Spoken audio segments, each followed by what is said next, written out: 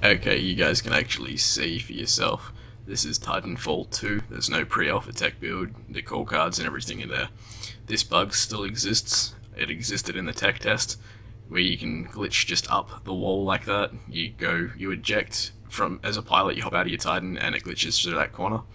It also used to fall directly into the building below us. Now it just puts us outside the building. Exactly like that. So instead of being in the building, you're still outside the building. It's still a bug, still a glitch. I've got it on. Uh, this is the first time I played Forward Base Kodai, whatever it's called.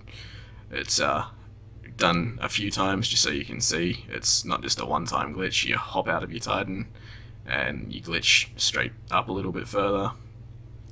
You hop out of your Titan and you're just below where that guy's Titan is, basically.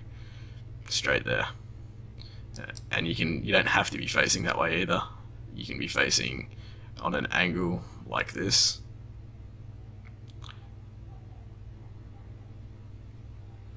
And it's still there. Still the bug.